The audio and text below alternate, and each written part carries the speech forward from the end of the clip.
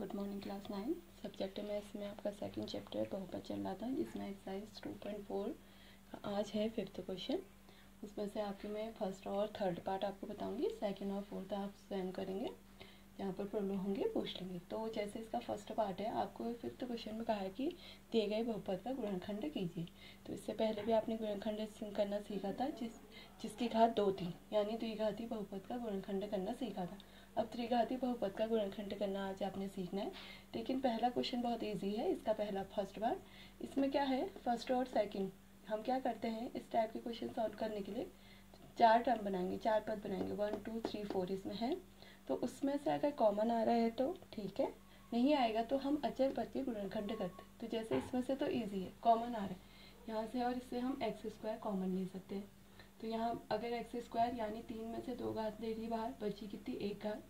Minus two अब मैंने इसमें पहले भी बताया था, पहले ब्रैकेट में एक्स माइनस टू है, यहाँ एक्स माइनस टू बनाने के लिए हम माइनस वन क्या ले लेंगे यहाँ से? कॉमन एक्स माइनस टू तो अब इन दोनों टर्म से आपका एक्स माइनस टू आ रहा है कॉमन तो पहले वाले में क्या बच गया? एक्स स्क्वायर दूसरे वाले से हमने एक्स माइनस टू कॉमन लिया माइनस वन अब इसमें भी हमने सर्व समीका पढ़ी है सेवन्थ और एट्थ में कि since a square minus b square is equal to होता है a minus b into a plus b तो इसलिए यहाँ पर भी हम ए ए की जगह एक्स बी की जगह वन रख दीजिए।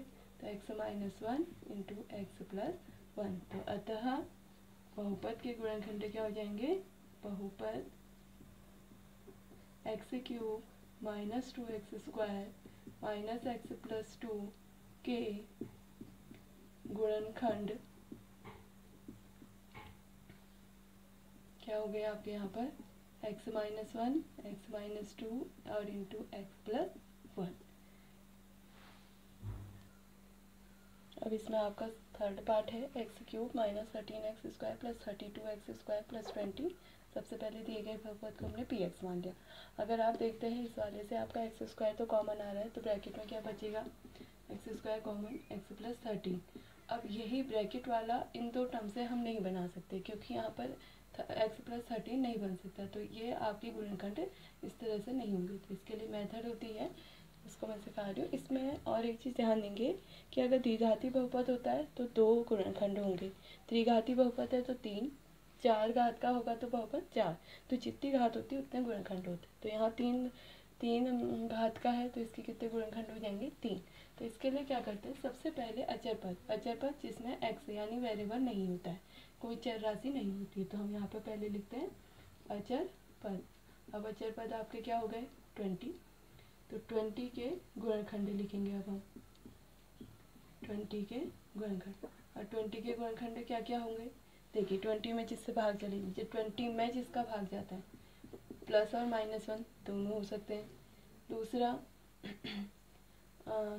ट्वेंटी में टू का भी भाग जाता है, प्लस टू से भी जा सकता है, माइनस टू से भी जा सकता है, थ्री से नहीं जाता है, फोर से जा सकता है, फाइव, सिक्स से नहीं जाएगा, सेवन से नहीं जाएगा, एट से नहीं जाएगा, nine, and ten eleven twelve, thirteen, fourteen, सीधे किससे जाएगा? अब आपका ट्वेंटी तो ये हो गए आपके अचर पद के गुणखंड फिर क्या करते हैं इसमें? एक एक करके यहाँ से अचर पद के मान हम दिए गए बहुपद में रखते हैं। जिसके लिए बहुपद का मान शून्य आएगा, वही उसका क्या हो जाएगा? गुणनखंड। लेकिन अगर हम देखें, यहाँ पर प्रत्येक पद में क्या है? प्लस साइन है। तो इसलिए पॉजिटिव संख्या रखे तो आपका यानी पॉजिटिव गुणनखंड रखे तो इसका मान ज़ीरो नहीं आ सकता। लेकिन ऋणात्मक मान रख के आ सकता है।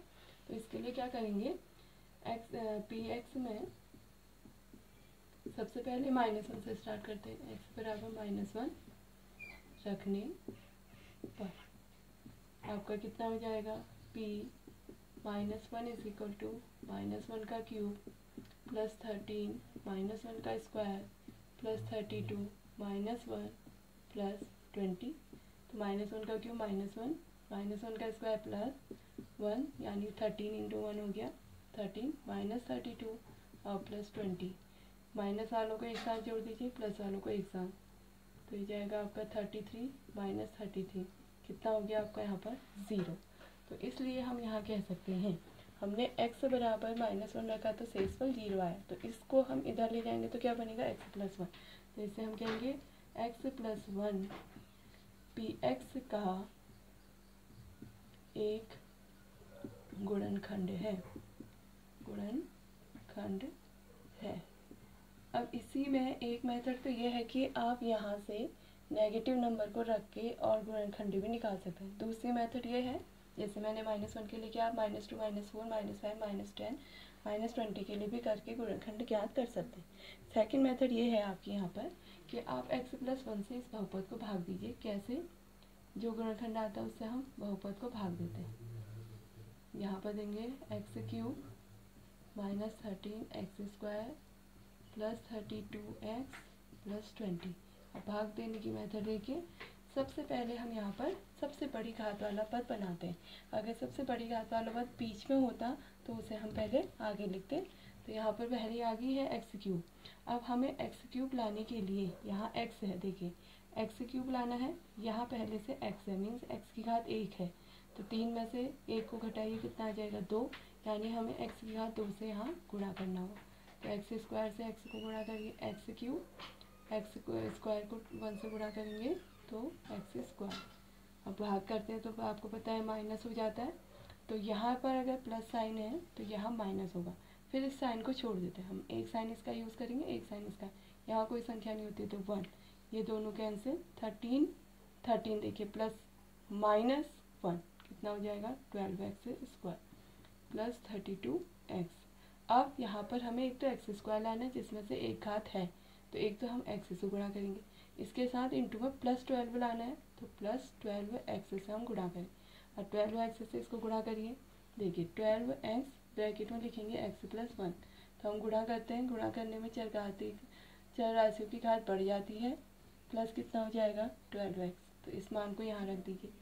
Twelve x square plus twelve x minus कर दीजिए।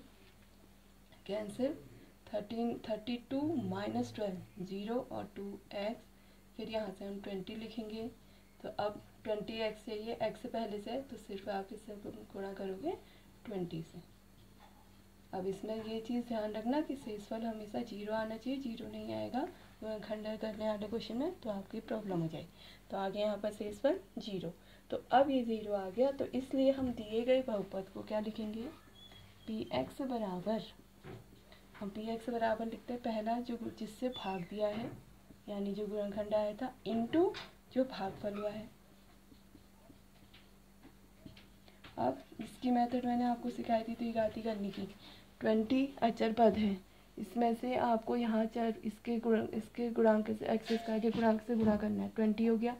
ट्वेंटी के ऐसे गुणा करना जिससे ट्वेल्व बाय टू टेन या ट्वेंटी तो एक्स स्क्वायर ट्वेल्व को हम लिखेंगे ten x plus two x plus twenty तो अब हो गया आपका एक्स प्लस वन यहाँ से एक्स कॉमन तो क्या बचा एक्स प्लस टेन यहाँ से two common x plus ten तो अब आपका क्या बन जाएगा?